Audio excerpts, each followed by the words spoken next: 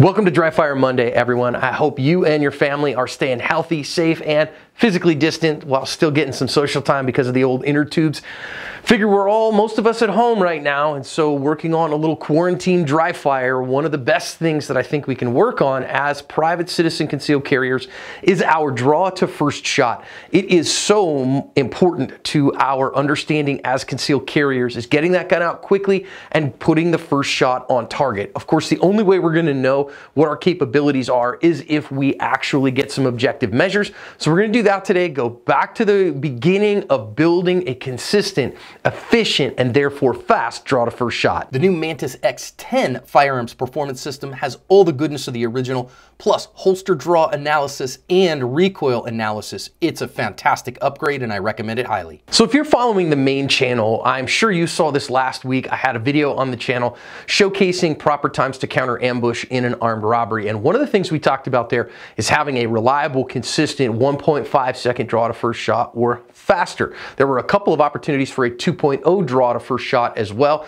And if you know what your draw to first shot generally takes you, then you can know what is your go signal, what is your opportunity to counter ambush. Well, of course, the only way you're going to do that is if you actually get a timer out and you know how to do that. But first, before we even get into that, we're going to talk about building an efficient draw to first shot. So I'm going to show you uh, everything about that from an appendix carry position first because that's how I carry. I think that especially for new shooters, it is the safest, most reliable, and easiest way to carry. And so I think it has a lot of advantages because especially as we get older, our shoulder uh, flexibility goes down. So getting back to a gun strong side gets a little bit harder. Uh, I think it's easier to defend in, uh, you know, combative uh, stuff or entangled gunfights and all those things. So I'm going to show appendix carry first because I think more and more people are doing that. But for those who carry strong side, I'm going to get to strong side, So hang in there with me. So let's talk first about appendix carry. The things that we absolutely have to do in order to get a gun out on target and press a shot off. Again, of course, that first hit is our biggest concern. So the thing that we have to do first is, is defeat our cover garment. We're going to assume that we're carrying concealed here and not openly carrying. That's another whole nother kettle of fish.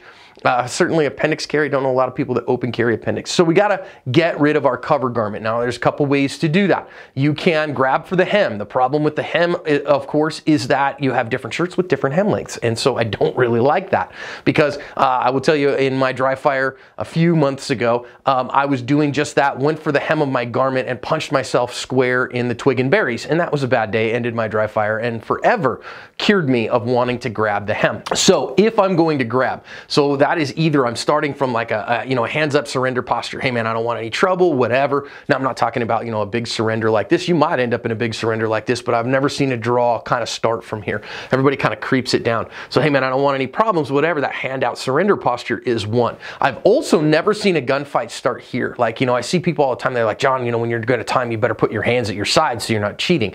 Um, I've literally never seen a gunfight. Now imagine this as well. If you just saw somebody just standing there and they were just standing like this, like just in a general public sense, and they're just standing there.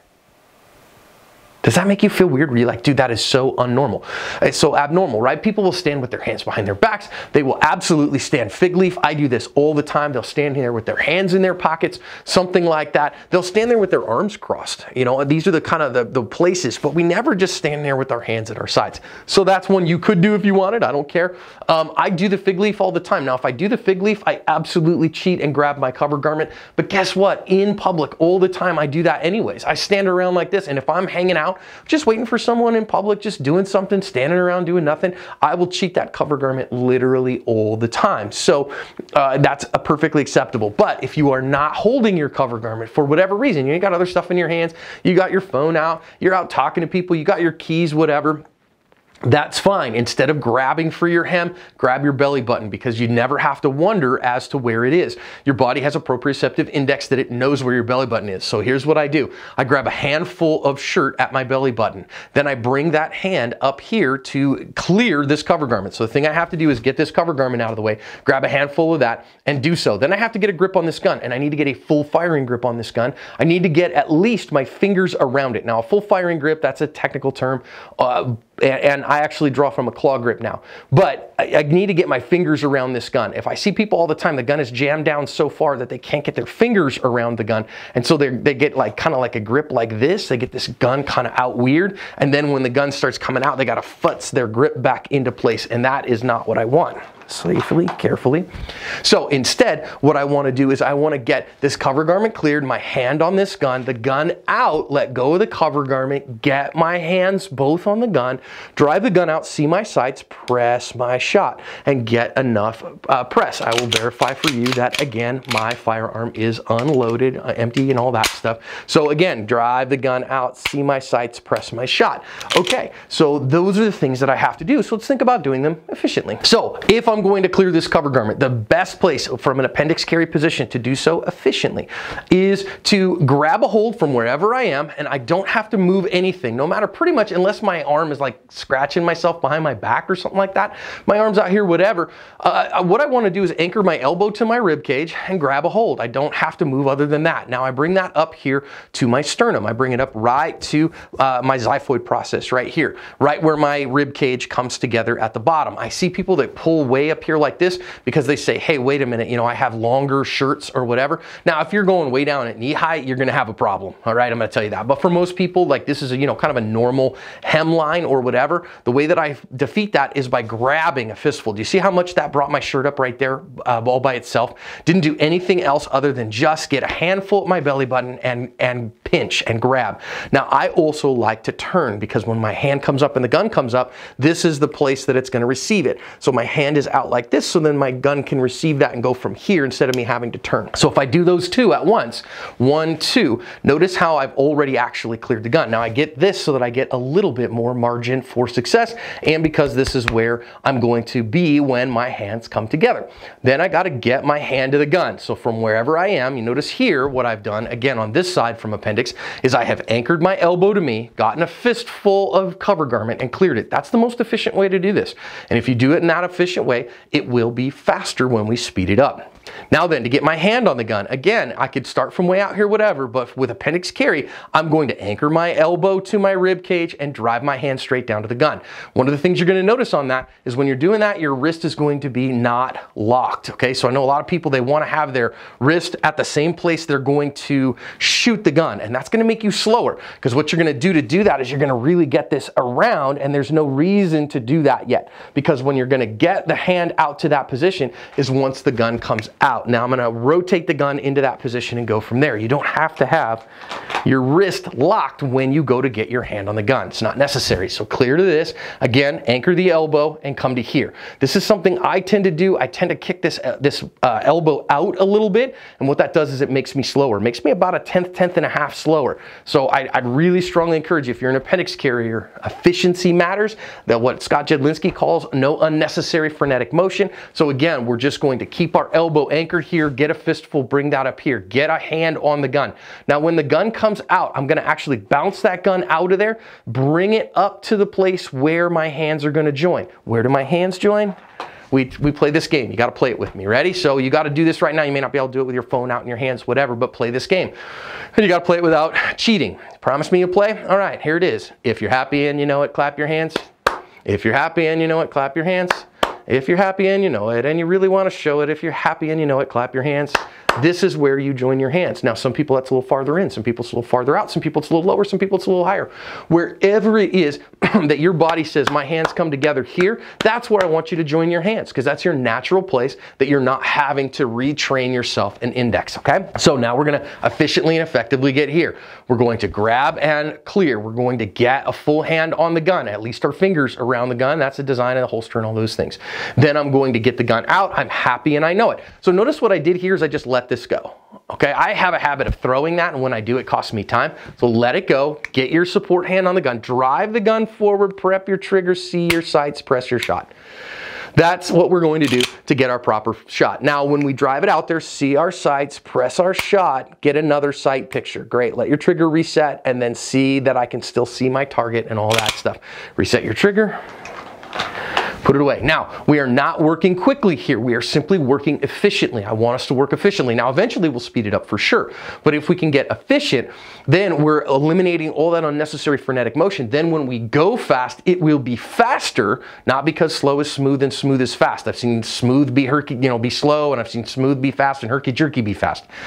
But because if we go slowly, we can find all of the inefficiencies, remove them, then we have the most efficient movement. And then when we speed it up, we will have the least amount to make fast, and therefore it will be faster on the clock. Okay? So, all right. So, once again, from this position, I can cheat this here to my, my fig leaf. I have no problems with that. I can be from the hands up. If I'm on a fig leaf, all I'm going to do is gather here at, uh, up to my place right here at my xiphoid process. That's all I'm going to do right here is just gather. That's easy stuff, and I've cleared my gun. If I'm not, and I'm here at a surrender posture, hey man, I don't want any problems. Again, keep my elbow anchored. This one comes down, that one comes down right behind it. Notice that again, I've, I've got a lot of shirt. Gun comes out, hands come together, drives forward, press the shot when I see my sights. Don't have to wait. Great, get a second sight picture, reset my trigger, do it again. Okay, for you strong sighters, I'm gonna switch up gear just a little bit. This is um, a VP9, it's actually the first VP9 that I ever owned, and uh, it is going to be carried strong side in a Black Arch Protos, which I know somebody's gonna say, oh John, that's a hybrid, and you say you hate hybrids. It's actually not a hybrid if you look here real closely. I'm gonna do a gear review on it. It's actually a Kydex holster. It's got the, the trigger guard completely covered by Kydex. It happens to have a soft mesh backer, and that's fine. It's a Kydex holster. So strong side can work, can be okay. So let's work from this. Okay, so now we are strong side. You can see, you know, it's kind of hard to see because black on black, I get it, my bad. But we're following the mechanics of my arms and hands. You don't really need to see the gun in there. Okay, so again, from the strong side, what we're going to do is we're going to do similar stuff, but we do have to cheat over to clear our cover garment. I do know people who like to come strong side, and when they do, they will come this way. If, if you're going to clear strong side, you take your support hand and you just put it on your chest right here to, to receive the gun. And if you're going to clear strong side, the way that we generally do that is we take our thumb and we go under our cover garment, clear up and around, and then drive back to the gun, okay? I still like a claw grip from there because it's an inside the waistband holster right up against your skin. I actually prefer though, if I can, what I'm going to do is I'm gonna drive over with my support hand and then grab, pinch like I did before, and then come up and around to my uh, sternum. Again, same place.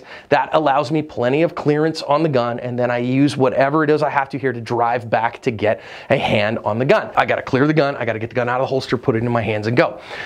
Now then, what we're gonna do that is, I, again, I come over and then this elbow here, instead of driving it forward, instead of driving it out like this, I wanna drive it straight back because the shortest track and most efficient way here is to drive it back to the gun and then drive it straight forward. Okay, so drive it back and then forward. The more I go out this way, this elbow has to come back and I've gotta find another plane of, of uh, stability. It's not an easy thing to do. So again, I'm here. I'm going to come over, grab, clear to the spot, drive my elbow back and get a hold. Now you're going to probably feel a pinch in your elbow doing that. When I get the gun out of the holster, it comes up and out as it joins with my second hand, drives the gun up, sees my sight, presses my trigger. So I'm doing really the same thing. Press that carefully, safely, carefully, easily, holster. Okay, do it again. So we're again from this place. We're going to take our time. We're going to make sure that we are efficient as we can possibly be. We're going to come over, clear back, get our hand on the gun, drive it forward, see our sights, press our trigger. Safely, carefully, holster. Make sense? Efficiency is the key. Okay, I'm gonna go back to appendix carry because that's what I do every day, and we're gonna do a little bit of mantis work in our draw to first shot in our um, uh, holster work here. So uh, let's go ahead and hit the record button on this. Now, here's what we're gonna do. We are going to go back here, put that in the gun, and I wanna show you something about when we speed it up, right? So the efficiency issue. Okay, so the first thing I'm gonna do is I have a habit of winging this elbow out. So I have a habit of coming here and kicking this elbow elbow out getting the gun and working. And so I'm gonna do five reps of that on the clock so that you can see where it is. And then I'm gonna do five reps of keeping my elbows close and we'll see what the difference is. Stand by. Gonna wing this elbow out. Saw my sight, did okay there. Now I'm operating at my speed. You don't have to operate at my speed, okay? I know it's hard for you to see. Eh, Saw my sight there, it would have been a Charlie. I'm gonna do one from over here so you can see it a little bit better. Stand by. Yeah, saw my sight real good on that one, in fact. Back over here, get two more. Stand by. Yeah, pretty good. I, I, I'm okay there. It's pretty fast, actually. Stand by. Now what I'm noticing is it's making my shoulder hitch a little bit, okay? So my last two on those actually was sub one second, 9.9 and 9.8. My average was a 103. I'm not gonna argue with that, right? Um, but I do want you to notice on one of those, my grip at the bottom was a 0.41, which is way slow. Uh, so that was where I was seeing some problems. But I wasn't waiting on the target. So you see the brown there, the target, the one at 0.04, I did really well at. So um, I'm, I'm pretty happy with those. In fact, that's about my speed right now. But let's see now if I just sit down here and I don't uh, wing my elbow up. Let's see if it makes it any better. Those are pretty good numbers. I don't know that I'm going to get a lot faster than that. We're going to find out. Stand by. Ooh, saw my sight too. Stand by.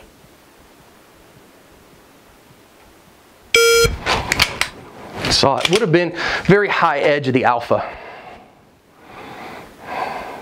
Stand by.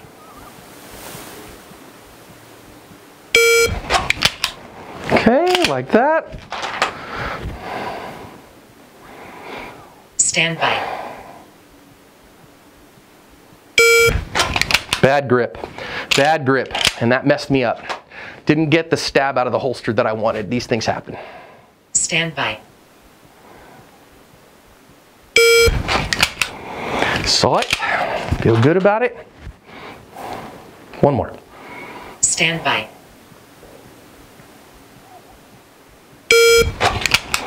Whew, that was spicy. Okay. Now if we look, my total time, now again, these are in dry fire, not in live fire.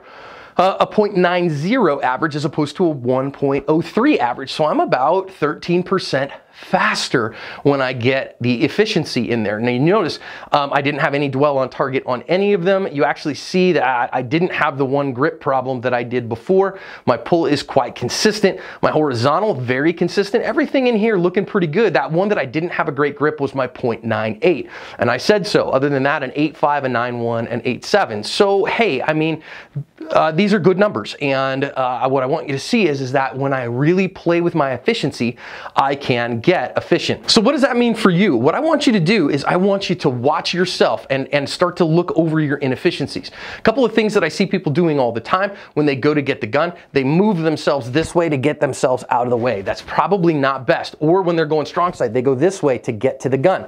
When you're moving this, you're gonna have to move back. So I'd suggest you not do that. It will make you inefficient. The way that you see what you do is have your spouse or yourself set it up on your desk or whatever and take video of yourself on your phone. If you can, do that on high speed. Do it on, you know, uh, uh, either what 240, you know, you can do it on your iPhone at like 4K at 120 frames per second or 240 frames per second and 1080 or something crazy. And then watch yourself as you go through. Do a couple draws, be honest about it, and then watch and go, where's my inefficiencies? Are my elbows coming away? Am I moving all over the place? Am I hunching down? Am I, what motions am I doing that I can get out of my draw to first shot? Then use your timer, get a little bit of more efficiency and see how much progress you can make. This week, I really suggest, man, listen, it'll, if you're working from home like I am, and I normally do anyways, makes you put on pants to put on your holster, and that's a good thing. Makes you get up, take a shower, do those things. Then make, gives you a, goal for the day. Hey, I'm gonna get some dry fire in today, work on my efficiencies, and that's gonna make me faster. Then number three, you're gonna know what your draw to first shot time is, and that will help you that you understand if God forbid it's your worst day and you get in a defensive shooting, then you will know from watching the main channel what you need to see in order to launch your counter ambush. Hope it helps you this week, guys.